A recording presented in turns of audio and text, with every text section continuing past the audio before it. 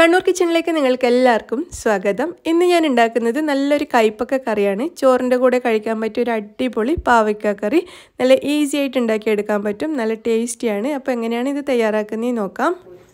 കറിക്ക് വേണ്ടിയിട്ട് ഞാനിവിടെ എടുത്തിരിക്കുന്നത് ഒരു കയ്പ്പൊക്കെയാണ് മീഡിയം സൈസിലുള്ള ഒരു കയ്പ.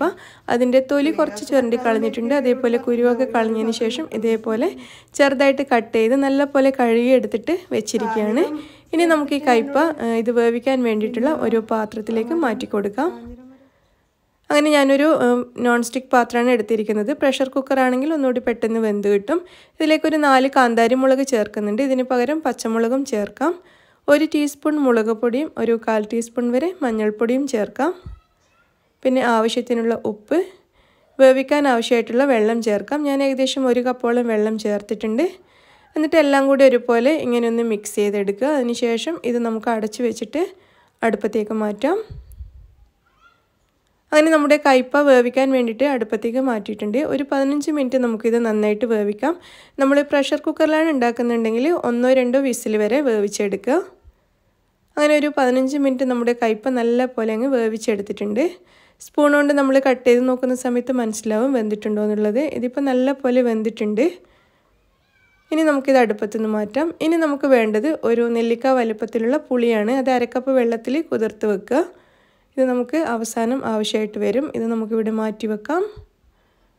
അതിനുശേഷം മറ്റൊരു പാൻ അടുപ്പത്തേക്ക് മാറ്റിയിട്ടുണ്ട്. അത് നല്ലപോലെ ചൂടായിട്ട് വരുന്ന സമയത്ത് രണ്ട് ടേബിൾ സ്പൂൺ എണ്ണ ഒഴിച്ചു കൊടുക്കാം. ഞാൻ വെളിച്ചെണ്ണയാണ് യൂസ് ചെയ്തിരിക്കുന്നത്.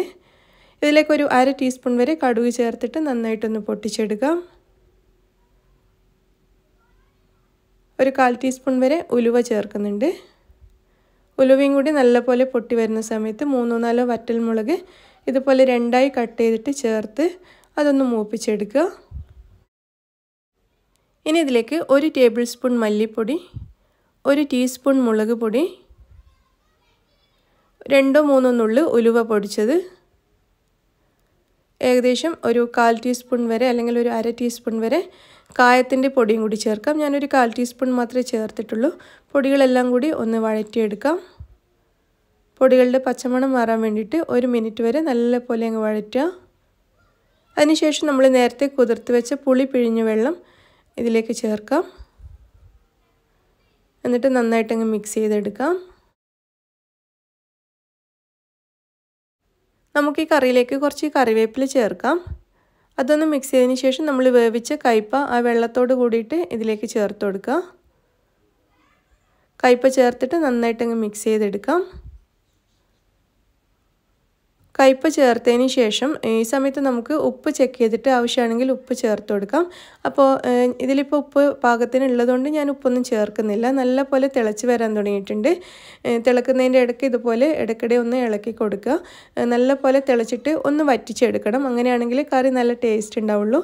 വെള്ളം പോലെ ആയി കഴിഞ്ഞാൽ ഈ കറി വലിയ ടേസ്റ്റ് ഉണ്ടാവില്ല. അപ്പോൾ കുറച്ച് സമയം നമുക്ക് തിളപ്പിച്ചിട്ട് ഒന്ന് വറ്റിച്ചെടുക്കാം. ഒരുപാട് കുറുകി അച്ചാറ് പോലെ ഒന്നും ആവണ്ട. എന്നാലും കുറച്ചൊന്ന് വറ്റി വരുന്നതാണ് നല്ലത്. അങ്ങനെ നമ്മുടെ കറി ആവശ്യത്തിന് വറ്റി വന്നിട്ടുണ്ട്. നിങ്ങൾക്ക് കാണാൻ പറ്റുന്നുണ്ടാവും. നല്ല പാകത്തിന് വറ്റി വന്നിട്ടുണ്ട്. ഇനി നിങ്ങൾക്ക് വേണമെന്നുണ്ടെങ്കിൽ ഇതിനേക്കാളും ഒന്നുകൂടി വറ്റിച്ചെടുത്ത് നല്ല അച്ചാറ് പോലെ ആക്കിയിട്ടും എടുക്കാം. നല്ല ടേസ്റ്റാണ് അപ്പോൾ ഞാനിത് ഇത്രയേ ചെയ്യുന്നുള്ളൂ. ഇത്രയും വറ്റി കഴിയുമ്പോൾ നമുക്കിത് അടുപ്പത്തുനിന്ന് മാറ്റാം. നമ്മുടെ കയ്പ്പക്കറി കറി റെഡി ആയിട്ടുണ്ട്. അങ്ങനെ നമുക്കിതൊരു ബൗളിലേക്ക് വിളമ്പോൾ നമ്മൾ അടുപ്പത്തുനിന്ന് മാറ്റി വെച്ചിട്ട് കുറച്ചൊന്ന് തണുക്കുമ്പോഴേക്കും ഒന്നുകൂടി തിക്കായി വന്നിട്ടുണ്ട്. നിങ്ങൾക്ക് കാണാൻ പറ്റുന്നുണ്ടാവും. അപ്പോൾ നമുക്ക് ചോറിന്റെ കൂടെ സൈഡ് ഡിഷായിട്ട് ഉപയോഗിക്കാൻ പറ്റിയ നല്ല അടിപൊളി കറിയാണ്. എല്ലാവരും ട്രൈ ചെയ്ത് നോക്കുക. എല്ലാവർക്കും വീഡിയോ ഇഷ്ടമായി എന്ന് വിചാരിക്കുന്നു. താങ്ക്